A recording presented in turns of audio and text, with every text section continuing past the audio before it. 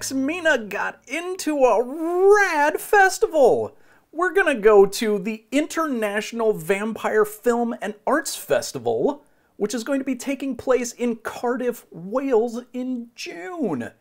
What? If this is the first time that you're hearing about Lucy X Mina, uh, there is a website for for Lu- uh, lucyxmina.com, which you can go to and check out, and it'll tell you all about the short film that that I made uh, along with a bunch of very talented friends.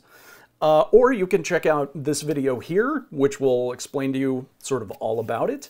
This festival is, uh, it, I mean, it's, it's an entire arts festival, and it's three days of uh, filmmaking and, and art and, uh, and, and an academic conference. There are all kinds of panels and on, on a whole number of subjects. Uh, there, there's a there's a short film festival. There's a feature length film festival.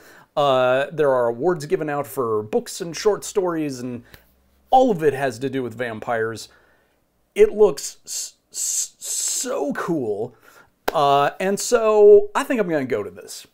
Uh, and, uh, and anyone who happens to be in the area or or not in the area, please come and join me and and this this promises to be an amazing three days, and it's being held in a gothic mansion.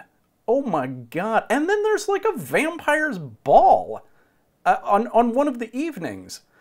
I really have nothing to wear.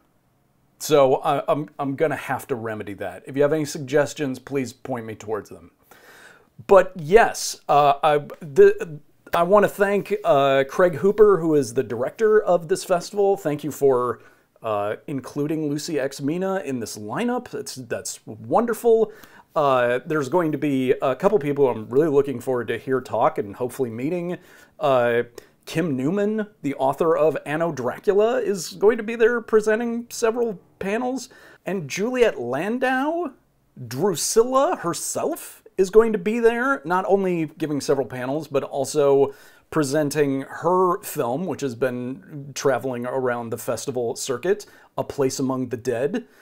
So, and I haven't seen that yet, so I'm looking forward to seeing it. So, this is going to be a lot of fun. So, that is happening on June 22nd, 23rd, and 24th, and I'll put a link to the website down below so you can check it out. Thank you guys for watching this, this quick update video, and uh, seriously, if you can attend, please come and say hi. It would be great to meet you in person.